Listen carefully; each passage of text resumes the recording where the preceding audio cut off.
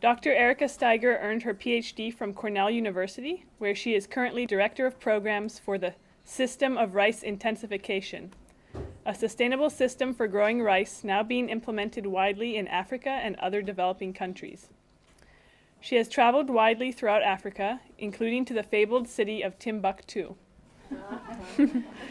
she is experienced in working in multicultural environments and speaks a number of languages besides her native German.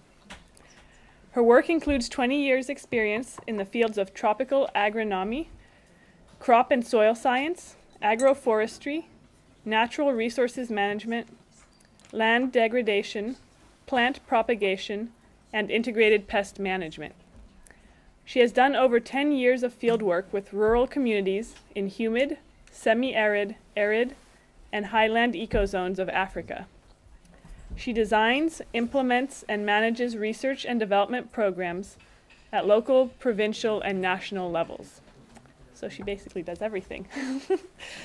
she has been a consultant for the World Bank and many other large international organizations, has many publications to her name, and is also a peer reviewer for the Agriculture, Ecosystems, and Environment Journal.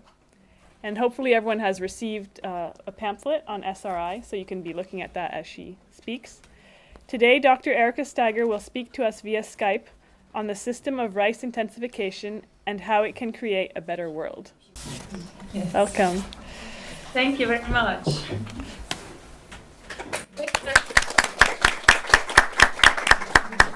For inviting me to speak at the Alliance of uh, uh, Women Scientists and Scholars for Better for Better World conference. Um, I'm calling you from uh, uh, Ithaca, New York, and I'm the director of programs for the SRI International Network and Resources Center here at Cornell University. In short, we call it SRI-Rice. And um, our mission at SRI-Rice is to advance and share knowledge about um, the system of rice intensification and to support networking among interested organizations and individuals around the globe. I will present today an overview of the system of rice intensification and how we can support to feed uh, our world population. We know very well the challenges we are facing today in our world. We know that in order uh, to produce enough food to feed the world and assure food security, while at the same time reduce poverty, we need to improve agriculture productivity. We also know that our natural resources are limited and often being overused through extractive agriculture practices. And um, it's of ultimate importance to associate increasing crop productivity with uh, environmental sustainable practices. We also know we are facing climate change, and uh, the SRI methodology is able to respond to actually all these challenges. What is SRI? It is a system that has been developed and there's a methodology that allows to increase the productivity of uh, irrigated rice. And uh, it provides principle and guidelines and ideas. It's not a fixed technology and uh, needs to be adapted to the local environment. It was uh, developed in, uh, in the 1980s in Madagascar by a Jesuit priest who has worked over 20 years with uh, rice farmers and he came up with a combination of practices, um, which I will uh, show you uh, in the next slide. There are six main practices of the SRI methods, and I will present them in the next two slides and compare them to the conventional rice cultivation. SRI will be shown in the upper row and the conventional practice in the lower row. In the upper row, we see with SRI, single seedlings are transplanted at a very young age uh, of 8 to 12 days when the plant has only two leaves. The spacing also is increased. It's 25 by 25 centimeters or wider. In the conventional systems, often very old, much older seedlings are used, and uh, more plants are put in one hill, three to five plants, and the spacing is much closer. 10 to 15 centimeters. With the SRI practices, the rice paddies are not flooded, which is actually very different from the constantly flooded irrigation under the conventional uh, system. Only a very thin layer of water is introduced and it is let dry out and until until another uh, layer of water is introduced. So very sparse use of water. Another component is the use of organic matter as a base fertilization Whereas in uh, conventional practice, uh, mostly fertilizer is used, chemical fertilizer is used. Weeding in the SRI system is done through a mechanical weeder, which incorporates the weeds into the soil and also aerates the soil. In the conventional rice system, weeding is either done by hand or through the use of herbicides. So these six practices, we can regroup them into four main principles.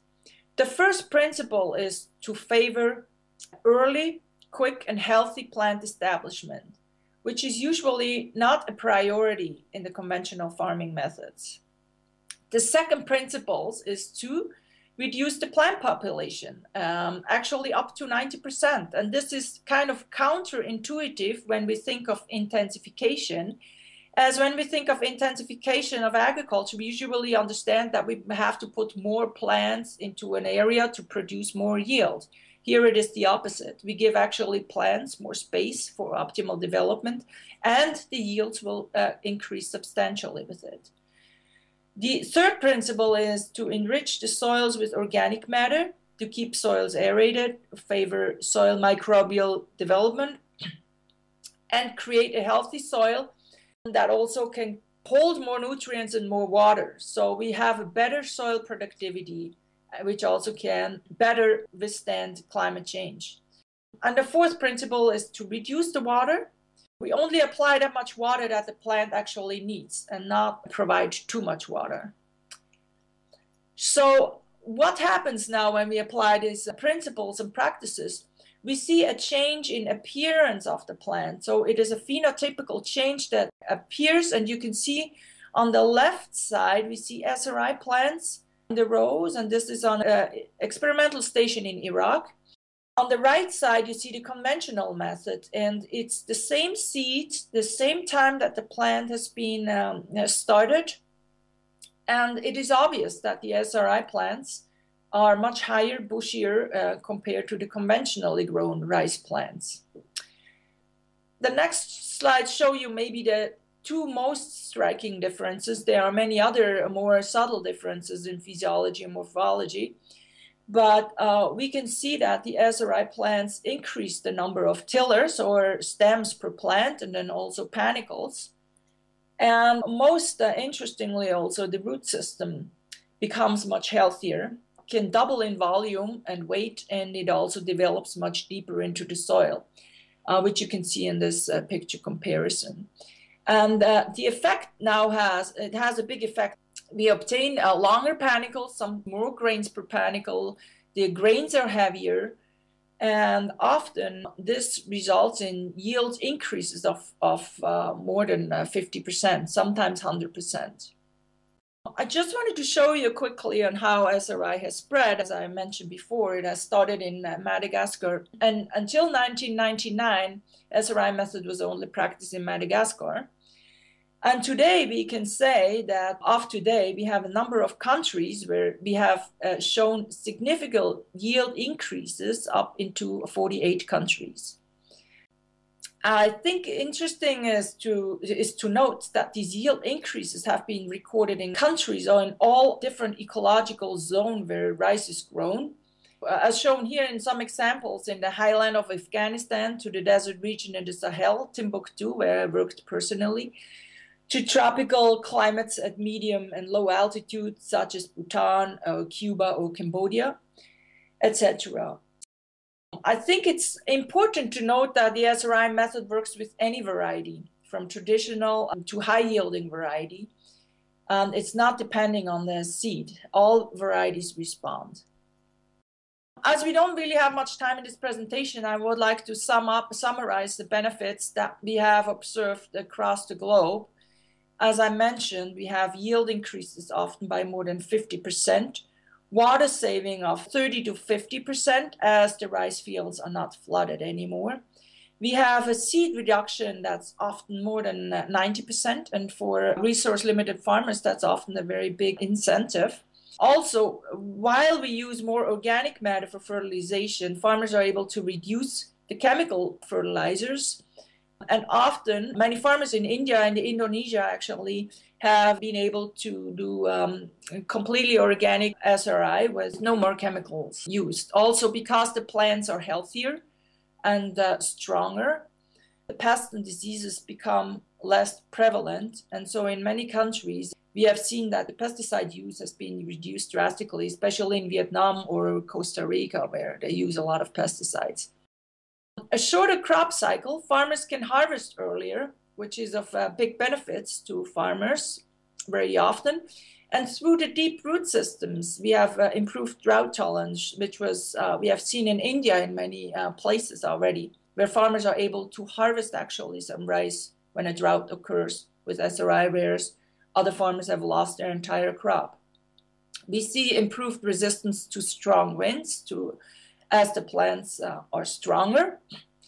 And uh, maybe most importantly, especially for poor farmer, we see also economic point of view SRI uh, allows to increase the income as also the cost for production is decreasing maybe most interestingly, and uh, something really I'd like to share is that we have seen since 2005, SRI practitioners have started to use the four principles, which I've put here again on top, to other crops, especially grass crops like finger millet, wheat, teff, sugarcane, but also with other crops. In India, a very wide use on different crops like mustard, pulses, vegetables. And we see the similar results with big yield increases and uh, healthier plants.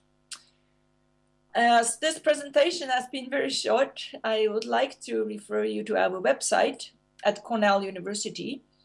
We maintain the most updated and complete information on SRI and other crops. And uh, uh, you can also uh, sign up on social media platforms. You will be updated regularly on what's new. We update our website on a daily basis. We are connected to most all countries around the world who practice SRI.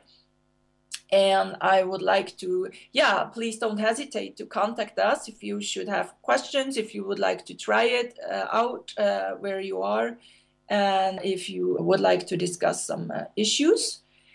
And I think SRI has been really made a big difference for many small and poor farmers around the world. And I uh, we like to see this method spreading.